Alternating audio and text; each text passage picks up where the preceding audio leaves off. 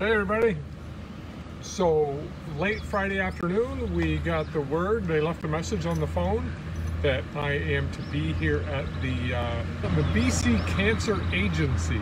This is where all the central, everybody from Vancouver Island that has cancer, this is the like central place that they treat that here in Victoria. Where you should have been brought when we were medically evac and not in the little rural hospital of Well, I haven't been inside yet. so- I just did. It's just amazing. Yeah, yeah. So Friday afternoon, they left a message and saying uh, that I have a uh, an appointment with my radiation oncologist at 11 o'clock this morning, and they're going to do a CAT scan and mapping to figure out where they're going to shoot the radiation.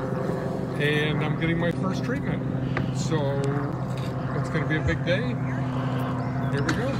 And we don't know if it's going to be five days in a row, one treatment. This all has to be all has to be determined uh, with what we're going to hear from the doctor, what she's seeing on the MRI and CAT scans and all this that they did. So we're going in. We're in Victoria. We just drove down a couple hours, and um, we're nice and early. And it was kind of a shock on Friday to hear that uh, it was like bim bang without being able to talk to the doctor. Just show up on Monday. It's urgent. So, We'll fill you in when we get there. okay, so here we are. We'll let you know what we find out. Okay, love you folks. See ya. See you, everybody.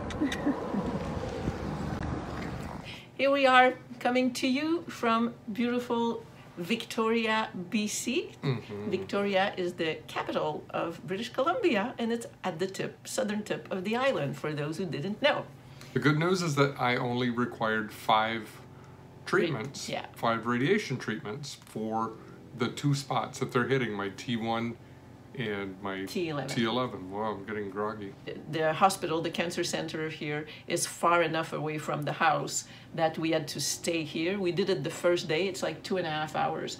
And we came down for the first day uh, for the three appointments that had with the treatment. And then we drove all the way back and arrived like at 7.30 at night.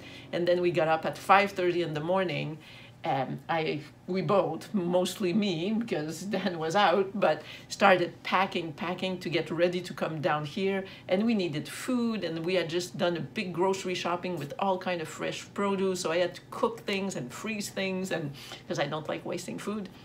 I've been packing everything for a stay here. So it was a long, long day. We started at 5:30 and got at the minute 2:15 to the appointment. We walked into the hospital at 2:15. yeah.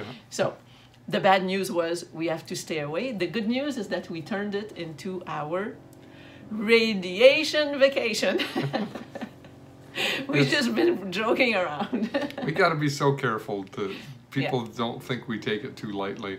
But We don't, but- we need, I mean, we need comic this, relief. We need comic relief.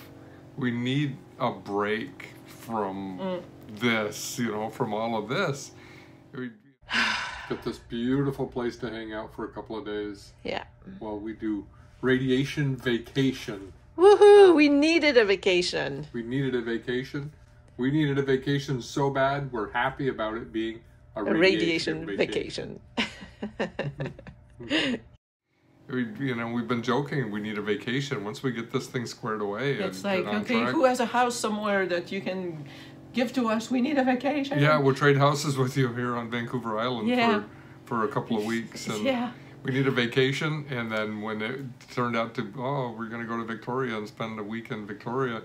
We thought, like, well, well, That's Yeah. our vacation. it's a radiation I vacation. mean, look at this. So.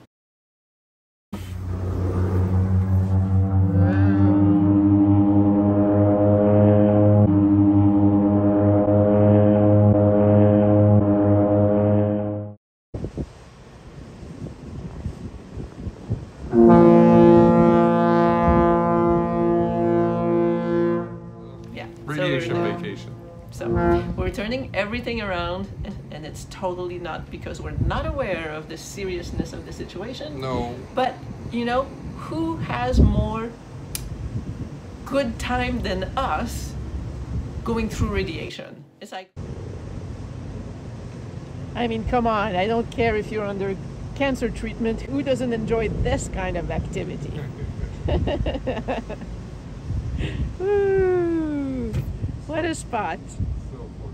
Know, all the doctors say the more positive you are and the more good hormones and that you produce in your body, the better healing you get. Yeah. So better Yeah. chances, better odds, and everything. So Yeah. we're gonna stick with being irreverent at times and keep joking around. And Because it's the only way we know. yeah, We're not in denial. we're not in denial. No. So first, Full of gratitude. full of gratitude. This hotel, the BC Cancer Center here, has a lodge that puts up people that kind of like Ronald McDonald House mm-hmm. kind of thing. If you're out of town, they have a place. Well, they were full all this week, so they have a list of hotels here in the area that offer. They call it a, a courage rate Yeah. for people who are here in Victoria for and treatment. this hotel, which is, we'll say it, it's the inn at Laurel Point in the harbor with, I mean, extraordinary views. The rooms are beautiful, comfortable, and uh, the rate that they give is like lower than stopping on the side of the road at the Best Western. Yeah. And that's what we got for, you know, Yeah. because of Dan getting treatment. Right. So we are super grateful to be here. super grateful. And here too, people are really nice. yeah, everybody is super nice. Yeah. the Canadians, you know. What you doing there, honey? It could be a big old healthy bubble bath, Epsom salt bath. Thanks, honey. That's fa- that's fancy. That's luxurious. Look at the tub. Whoa. Happy healing, honey. Thanks, baby. what else? Grateful to the BC Cancer Agency. Those people there are so nice. I Yeah. mean, just watching them, not just interacting with us, but as we walk around and you know go to my appointments and stuff, hearing the way they interact with everyone Yeah. among themselves, the way they talk among themselves, the way they talk to everybody else. This place is full of healing energy. Totally. It's so nice. It is Everybody is so uplifting nice. to get to walk in there. I mean, Yeah. it's a cancer center. It's the first one we've been to. So, well, no, we've been at Dana Farber before uh, for his first run in with cancer six years ago. But it's really, the experience is incredible. It's uplifting to go in there. Yeah, It's, it's kindness all the way around. Yeah. And we are so grateful to now be taken in by these people. Absolutely. Um, so now Okay. it's more of the good news, bad news about Dan's condition. The good news about my physical condition, my radio oncologist met with the neurosurgeon and they went over all of my images and everything mm. to prepare for treatment. And they said that the doctors in Florida who did the work, the neurosurgeons that did the work, did a fabulous job.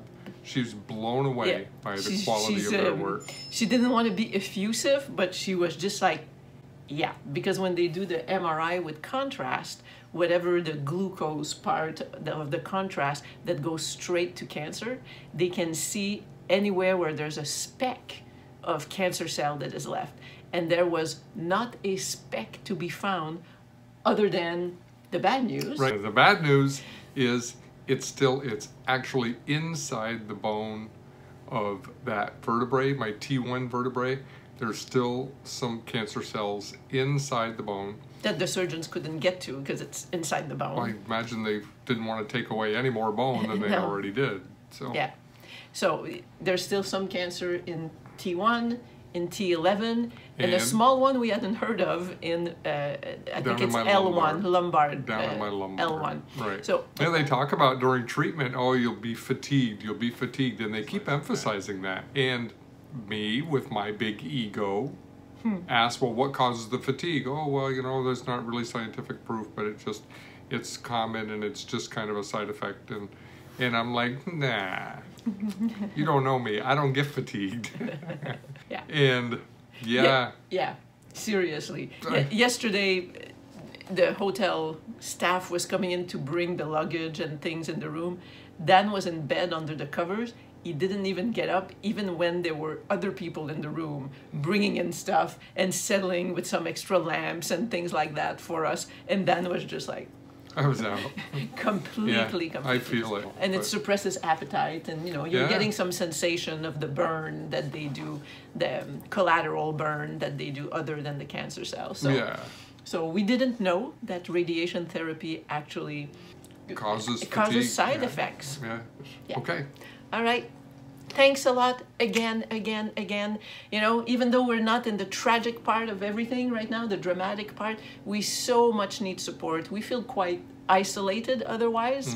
And it's kind of, you know, it's a big deal to, it's a lot to deal with. So, all the love, the quick messages, just telling us you're thinking about us, it means an awful lot to us. Even when we don't have time to reply, Yeah, we yeah, take it in, take it in, take it in. Yeah. And it means a lot. It's really carrying us through a lot of it.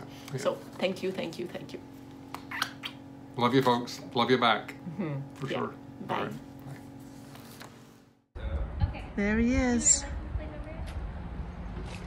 Last treatment. Done with the radiation. Good job, baby. Whew. Radiation therapy sucks. It kicked my ass. I didn't know it was going to. I, my ego was so big. Ah, it's no big deal. It's just a big X-ray. I'll be okay. Yeah, I'm gonna be okay. But it really, really did kick my ass. So, not to be trifled with. Okay, see you, folks.